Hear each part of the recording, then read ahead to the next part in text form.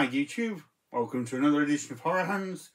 And for this video I'm going to be talking about the original Universal Monster movies.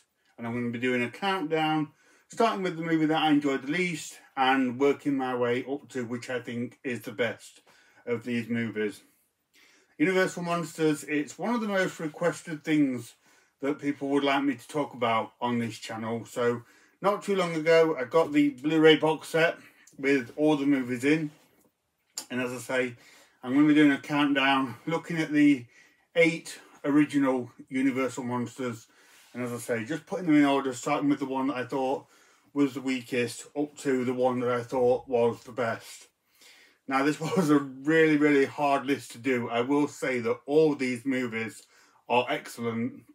And it was really nice revisiting them and watching them again. Thoroughly enjoyed all of them. So to try and put them in some kind of order was difficult. Quite a few sort of trivial reasons for me putting some of the films further down, but that's just kind of how good every single one of these movies is. But I have uh, I have watched them. I've given it a bit of thought, got a few notes. So uh, we'll get into this countdown, and uh, and we'll have a look what I think are the best uh, Universal monster movies. So we've got to start somewhere, and first one on the list is The Phantom of the Opera from 1943. Now, I do legit feel that this one is the weakest of the movies. Although it was a great film, I enjoyed watching it again. But there's a few elements to this one that just made me hold it back over some of the other movies. So this is the only one of the original Universal monster movies that's in colour. So that gives it some benefits, also gives it a bit of detriment. But it's easily the nicest looking of all the films because of the colour elements. And they really make the most of the lavish opera house setting. So the colours in this are really nice and rich. Some beautiful sort of decorations and tapestries and things going on in the opera house. And it just looks exquisite and really exudes class the detrimental side of that is it just kind of didn't feel like a Universal monster movie because sort of all of the others are black and white vintage gothic horrors. This one really stood out as something a little bit different. It as I was watching it, I thought it actually feels more like a Hammer movie, which might be a benefit in itself as well. But it feels much more like one of the early Hammer films rather than a Universal monster movie, which is uh, one of the big reasons why I kept it further down on the list. The movie itself is good. Uh, Claude Rains is excellent as the uh, the opera, the conductor guy, who gets a little bit screwed over over by the uh, the opera, and he has this terrible accident which dis disfigures him, and then he sort of lurks within the uh, the the the opera and sort of becomes the, the phantom of the opera uh, that's pretty cool. It's, it's an okay story.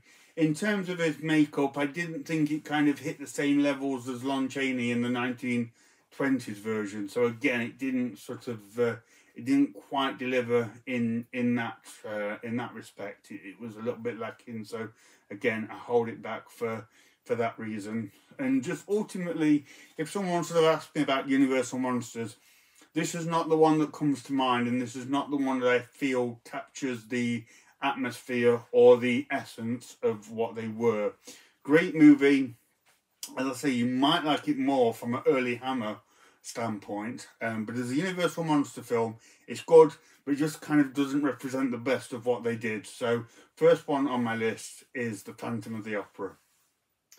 Next up, we have The Mummy from 1932, which is an excellent movie. Don't be fooled by me putting it second from the bottom of this list. It really is a great film. It doesn't kind of do anything all that spectacular or do anything all that iconic. It's just a really good film. It kind of comes in, does a great job, entertains, and then and then finishes. Uh, but yeah, really enjoyed rewatching this one. And uh, so you have Boris Karloff in this. He plays like the mummy creature which you, you don't saw that much in the film. But then he plays like the the Imhotep kind of preacher guy who is looking to bring back his uh, ancient queen and is looking for victims to, to fulfill that. And he has a great role in this film. He might be a slightly better role than Frankenstein in terms of his performance because he has a little bit more to do and say in this film. He doesn't do a great deal. He kind of stands around a lot and says a few things uh, in a menacing way, but he has a real presence and really does kind of command the scenery. I, I thoroughly enjoyed seeing Boris Karloff again in this role, and he has a great look with his facial features and the gauntness and his and his piercing eyes. Really is a great uh, role and performance for him. I also actually quite like the sort of the love story element of this story, which is not where I would usually go for, but I just thought that was quite an interesting thing that he was trying to, as I say, resurrect his old queen. So there was a, like I say, that love, like committed love aspect, which was sort of a bittersweet aspect to the film, but I think worked quite well. It was just an interesting element that they, they brought into it. I like the ancient Egyptian setting. They made it look good. I'm more kind of accustomed to the old Victorian settings of these kind of movies. But again, it was a nice change whilst watching all these to, to go to the ancient Egypt setting and see this film. So yeah, uh, very few complaints about the Mummy. Really good, very enjoyable one of these movies. As I said, I just don't think it's quite as iconic as some of the others, so I kept it down a little bit. Um, but great film, definitely uh, recommended in, in this series. So next up is actually the movie that I often consider to be my favourite of this series.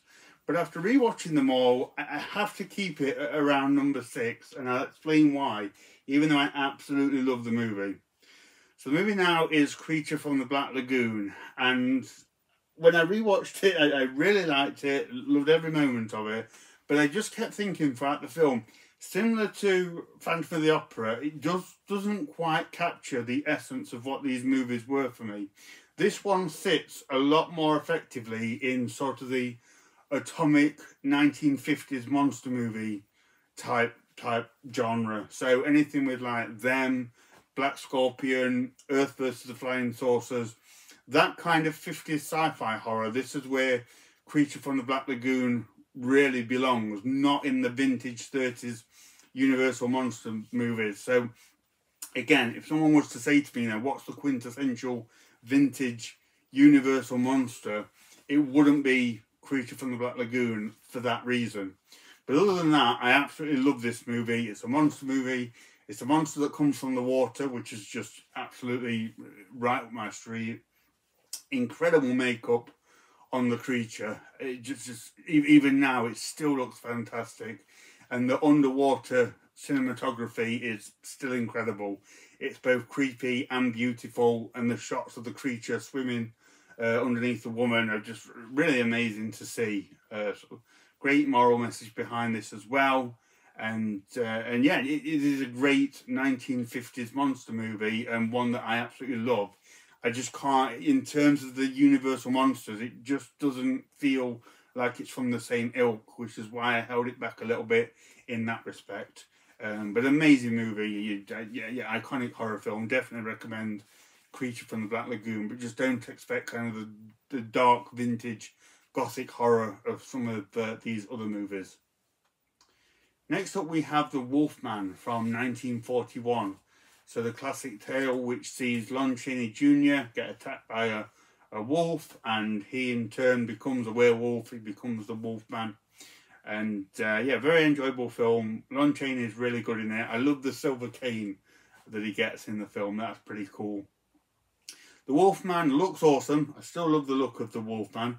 The transformation scene is, of course, very dated now. It's one of the kind of the the dissolve shots where it, it goes from shot to shot um, which is not the best, but still kind of cool to see how they did it back then. On that note, I've kind of held the Wolfman back a little bit because I think there's other films that have been along over the centuries that have shown werewolves and the transformation a lot more effectively and used some really cool practical effects, which has sort of dated this movie a little bit. Like I say, I only had little reasons for keeping some movies back. But other than that, this is a, another really good film. You got quite a bit of sympathy for Lon Chaney because he's sort of a unwilling werewolf. He's just sort of a victim of this werewolf attack, and there's quite a nice relationship with him and his dad in the movie. And sort of, I won't give away the ending, but it's it's got a, a quite a heartfelt ending, and and yeah, it's it's it's wrapped up really well. So yeah, another just really good Universal monster movie film, and you're getting into the more iconic territory with this one as well, and kind of what they were all about, at least for me. So uh, so yeah, number um, five on the list is the Wolfman. Okay, we're at number four now, but we really are into kind of the pinnacle territory. Any of these movies are excellent and all iconic and must see kind of vintage horror movies. So at number four, we have Dracula from 1931, Bela Lugosi's iconic performance of the Count. I have to say, watching this one again, out of all of them, I think this one looks the best of all the movies in terms of that gothic, creepy Victorian look you got the shots of like the horse-drawn carriage going along the countryside, uh, the dimly lit Victorian streets. It's absolutely fantastic. Just what I was kind of uh, expecting and remembering from these kind of films. So that was great. Probably the best introduction of the Universal monster as well. Uh, Count Dracula studying his, on his stairs, uh, greeting Jonathan Harker and doing the whole Children of the Night thing. You get a shot of Bela Lugosi's sort of piercing, hypnotic eyes. That was really cool. Uh, great characters in this one all round. And uh, yeah, just as I say, like a quintessential vintage Universal monster movie. This, this one really is a, a must see and one that I would highly recommend. Very quiet movie. I forgot how quiet it was. Other than kind of a little ditty at the beginning and the end of the film, don't think there was any music in it. So it made for quite a quiet film because there's a few pauses and things like that. So that was um, kind of a bit unique. I, I haven't seen a movie like that for a long time that is that quiet and has has such large pauses between dialogue and and sound and things like that. So that was interesting. But really enjoyed really enjoyed watching this one again. Great to see all the iconic moments and yeah, this one I would I have this down as a, a must see of these kind of Universal monster movies. At number three, we have Frankenstein, which every inch of this movie is just iconic horror. It's an absolute joy to watch. I have said before, it is arguably the most iconic horror movie uh, ever. Uh, one of the very best Universal monster movies. Wonderful tale exploring sort of both life and death and the and the consequences around that and sort of the moral aspect of you know creating life and things like that, uh, represented amazingly in Boris Karloff's Frankenstein's monster creature, who is still both kind of uh, pretty terrifying, yet has you have a lot of sympathy for him as well. And yeah, just an uh, just an excellent movie. Got to say again from from re rewatching these movies, a lot of credit should go to Colin Clive. He he really does make this movie. I mean, Boris Karloff is the iconic creature, but I really feel that Colin Clive is the heart of this movie and really made it as good as the film was. Uh, unfortunately, he would die a few years later from, uh, I think, tuberculosis. He was a, a, big drinker and got a lot of health uh, health problems uh, from that and died in around 1937, I believe. But, uh, but yeah, he was absolutely fantastic in this. I forgot just how good his performance is in the movie. Um, but not not a great deal to say about Frankenstein, other than it's it's still excellent. It's still wonderfully made. The makeup and the look of Frankenstein is still the the look to to go for, and yeah, absolutely must see of of this uh, series. Really enjoyed watching Frankenstein again. Now, coming in at number two, which might be a surprise to some people, is The Invisible Man. Now, I was watching this and I actually made notes when I was watching this movie, and the first thing that I wrote down whilst watching this film was underrated. This film is such an underrated movie, and more people should definitely see The Invisible Man. So, in this one, uh, Claude Rains, he's a scientist on the run, and he has devised a serum which can turn you invisible. So, when we first see him in the movie, he's dressed in that sort of the bandages with the the sunglasses and the coat and everything. Look really cool look. He looks awesome when he's when he's done up so that you can see him. And of course, whenever he takes anything off, he, is invisible. You can't see him.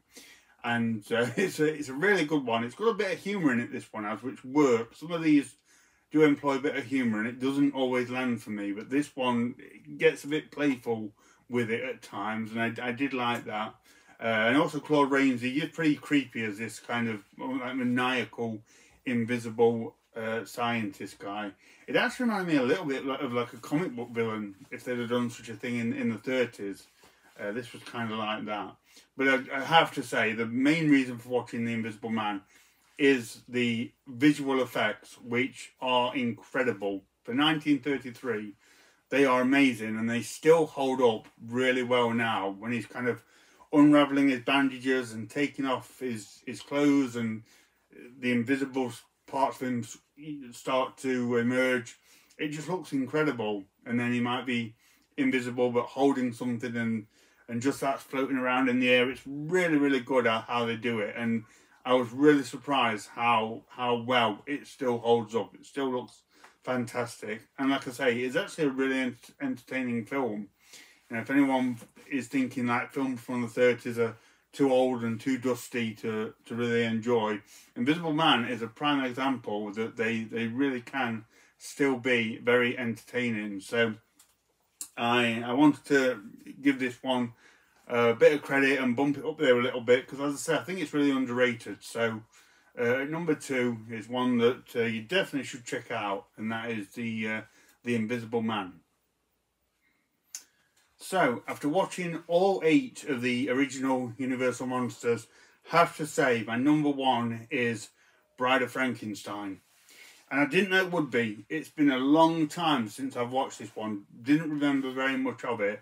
But I was so impressed with this movie and what they did and how they built from the first Frankenstein movie. So they really kind of beefed this one up, which is, you know, what all good sequels should do. Uh, but there's just a lot more going on, a lot more character work. So I love the um, Dr. Pretorius, the sort of villain, villainous doctor that kind of gets Frankenstein to start doing what he was doing he's really good, very sinister, and I like that kind of back and forth with them and and the reasons for him uh, making Frankenstein get into this again. The process of bringing something back to life through like the electricity, that's kind of shown a lot more. It's a lot more intense. You see the process uh, in much more detail than what you saw in the first film. I really like that scene. That was really cool. Frankenstein's monster as well gets a lot more kind of character development in this one, so he spends more time walking around the countryside. I love the interaction he has with the blind guy. He, he goes to the blind guy's house, who he isn't scared of him, and they, uh, yeah, they, they sort of kind of become friends briefly, and he teaches him that he doesn't need to fear fire. Teaches him how to smoke. I'm not sure about that, but at the time, you know, it's, it's just a really nice interaction um, that they have uh, of course, the bride is awesome. She's totally iconic. Great performance by uh, Elsa Lanchester there. Um, it, it, almost it almost didn't have the number one spot. There was just one bit about Bride of Frankenstein which didn't work for me, and it was the humour side of things, particularly from the, the, the screeching woman. I don't know if she's like a servant lady or a gypsy. Her name was Minnie, played by um, Una O'Connor and she just kind of brought an element of humor that I didn't think was needed and didn't really work for the film. And she was just constantly like, "Oh, when I get my hands on him," and it just it's a great movie. It's a great horror film. It didn't need her kind of running around shouting and, and having that comic relief. So when I was watching it, I thought, yeah, I'm going to knock this one down a bit because she's annoying me. But actually, the movie was so good, I'm still putting it as as number one as as the best of the Universal monster movies, and uh, you know for in terms of recommending them to people, it's got kind of everything. It's got the vintage horror look and feel to it. Got some really good moments, like I say the the whole bringing the creature back to life. That's a pretty pretty intense scene, and it looks really good. Uh, great performances. You get to see plenty of Frankenstein's monster great interaction between the two scientists, Dr. Pretorius and Frankenstein himself. Colin Clive's great again. So yeah, my number one uh, was Bride of Frankenstein. Really enjoyed the whole thing. So that is my uh, countdown, my ranking of the Universal monsters. Let me know what you think about that, guys. Like I say, it's a very difficult one to put together. It, it may change drastically over time if I watch them again, but that's kind of from the notes that I've made and, and what I thought about them. That's what I've come up with it. Let me know what you think. Do you agree with that? If not, what order would you put these movies? Uh, I'd really love to know. So thank you very much for watching and stay tuned for more videos.